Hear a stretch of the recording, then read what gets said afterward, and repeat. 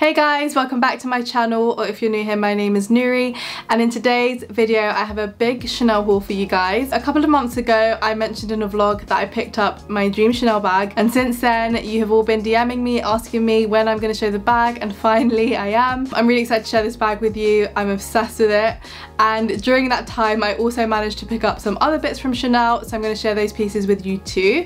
I hope you enjoy this video, and if you do enjoy it, don't forget to give it a thumbs up and subscribe. So I'm gonna start with the bag because I feel like that's the most exciting part. I actually did unbox this already because I took it with me on holiday to Ibiza but I didn't actually wear it out there because I kind of just wanted to unbox it first on YouTube and it just didn't feel right wearing it out there without showing you guys first. I feel like some of you may have guessed what it is because I've been talking about this bag for quite a while now on my Instagram.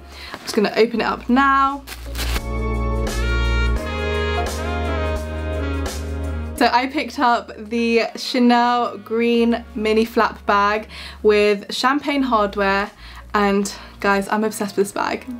You guys know that I've been obsessed with the colour green for a while now and I really felt like I needed a green Chanel bag in my life. I have the black, I have the white, I have a couple of black Chanel bags now so I definitely wanted to start venturing into a bit more colour and what better way to start than this beautiful green and if you didn't know already green is actually my favourite colour. I'm a very neutral girl in my outfits but green in general is just my lifetime favourite colour so I felt like it was only right to get this in green. I just can't get over this. I think it is the most beautiful shade of green. I had tried to get this bag a couple of times. I went to a couple of Chanel boutiques and every time I'd go in they didn't have the green bag and then one day we were in Selfridges and just by chance I thought I'd check in and this was the last piece that they had. So I tried it on and I was just wearing like a basic neutral outfit, my Burberry trench and like a black outfit underneath and I just put this on top and honestly it sold it for me because it just made the whole outfit look amazing. The pop of green is just amazing. And I think it works beautifully with my wardrobe. And I love that it's champagne hardware because it kind of looks like silver I feel like with the green although it is kind of more of like a goldy colour but it's nice because I can wear it with different accessories. And I don't actually own a mini flap so this is perfect because it's a crossbody bag. You can actually shorten it inside. There's a little, little trick that you can do. So basically what you do is you just pull these bits in on the side. And then if you have a ribbon, like a Chanel ribbon, you just tie a little bow there and then it basically becomes the length that you want it. So you can, can actually wear it as um, a shoulder bag or you can wear it as a shorter crossbody bag. It is in the lambskin material so it is very delicate.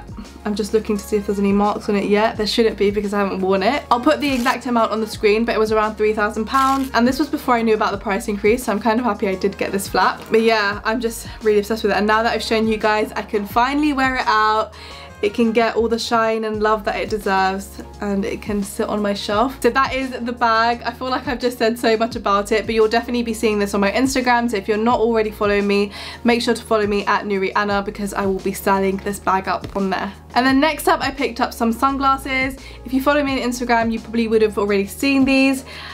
I am obsessed with them again. They are just so beautiful. I absolutely love them. I really love the case that it comes in. It's in this leather case. It has quilting at the back and then it opens like this, which I think is just so lovely. But I mean, considering the price of the sunglasses, I feel like it was justified to have a good case. These are sunglasses. They're a black frame. They're really like oversized and large.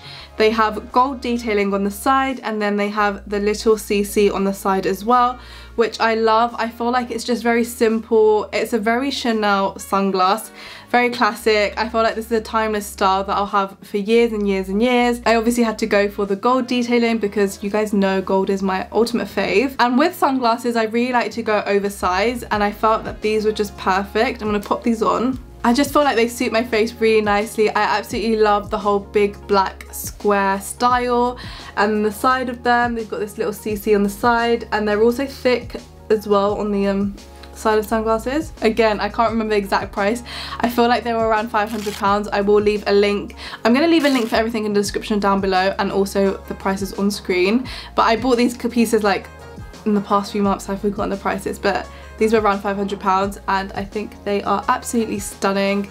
And I wore these on my holiday to Ibiza and I got so many compliments on them and I'm just ready to wear them all summer long. Okay, and next up we have shoes. So the first pair of shoes are the dad sandals and these are like Marmite. You either love them or hate them. And I feel like at first, like a couple of years ago, I hated them, but I've really grown to love the dad sandal trend. So these are from the new collection. They're in the navy color and they're in this velvet material. They have the CCs on the buckle in this like multicolored gem style and I love that. I feel like they're just really different to the previous styles that have been brought out and I love how they're very summery so it will look really nicely with all my outfits. You've got colours of red, the pearly, white, orange and green and navy in there. I stay true to size in these so these are a 39 and they fit me perfectly. They're comfortable but I actually haven't worn them out yet as you can see so I can't really comment too much on the comfortability of them but just walking around in the room in them they're actually really nice to walk in. So these ones were £1,090 which I do think is quite pricey for a pair of sandals but I know they're selling for so much more on the resale market. People are selling them for like £2,000 I've seen. So I'm really lucky that I was able to get these in store. I got these from the Selfridges London branch and they actually had quite a few sizes. Um, so if you are looking for some, I definitely recommend popping into there. I feel like there's so many different outfits I can make with them and they're just very cool and edgy and I'm really excited to style these ones up. So the last pair of shoes that I picked up were these Chanel loafers and again I feel like these are a pair that you either love or hate. Again I was really shocked to see them in store on display because I know that these were really popular last year and super hard to get a hold of so I'm very lucky that I got them in my size in store. I'm to insert a picture of Hailey Bieber. She was wearing them and I think that's when I fell in love with them. She wore them with these heart socks which I'm trying to source. I really want a pair of heart socks to wear them how she did. But yeah, these are basically your black standard leather loafers. You've got the classic Chanel quilting on here and then the champagne gold hardware. And I just thought this was a piece that I could wear for all the seasons. I can wear it in summer with like a dress, some cute white socks, come out with a skirt then through to like spring autumn I can still wear them with like trousers jeans and even in winter you can wear them. So I felt like it was definitely a worthwhile investment. Again these were true to size so I got them in a 39 and I just love the quilting on them. Even the bottom of the shoe has the quilting design. It's got this cute little platform. It's not high at all. Oh my god wait can you open the flap?